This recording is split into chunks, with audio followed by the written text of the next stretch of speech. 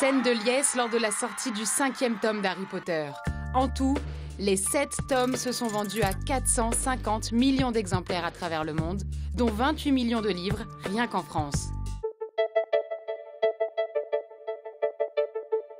La saga Harry Potter est phénoménale.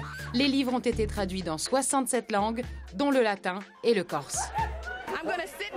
Je vais m'asseoir là où je peux trouver une chaise et je vais le lire tout de suite. N'importe où.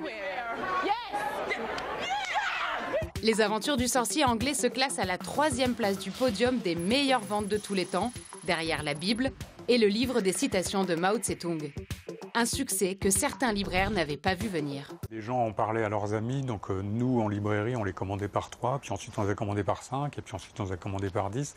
Les derniers tomes qui sont sortis, on en les commandait ensuite par 200 ou par 300 quand ça sortait. Quoi. Donc c'est vrai que ça a été un phénomène boule de neige assez incroyable. Et la frénésie n'est pas prête de s'arrêter. J'ai dû patienter toute la journée, attendre euh, de pouvoir enfin euh, Les fans français qui ont suivi les aventures du sorcier pendant 10 ans trépignent d'impatience. Le texte de la pièce de théâtre racontant les aventures d'Harry Potter, 19 ans après les reliques de la mort, sort ce vendredi.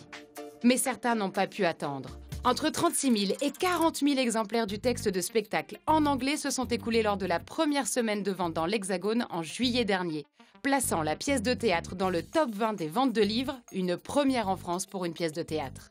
Sept romans, une pièce de théâtre, mais aussi huit films. Tous des blockbusters. Recette totale 7,68 milliards de dollars, avec une moyenne honorable de près de 900 millions de dollars de recettes par film.